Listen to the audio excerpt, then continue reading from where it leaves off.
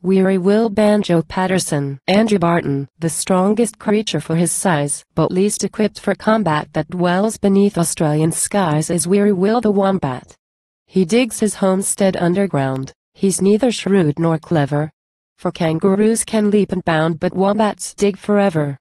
The boundary rider's netting fence excites his irritation. It is to his untutored sense his pet abomination. And when to pass it he desires, upon his task he'll center and dig a hole beneath the wires through which the dingoes enter. And when to block the hole they strain with logs and stones and rubble, Bill Wombat digs it out again without the slightest trouble. The boundary rider bows to fate, admits he's made a blunder and rigs a little swinging gate to let Bill Wombat under. So most contentedly he goes between his haunt and burrow, he does the only thing he knows, and does it very thorough.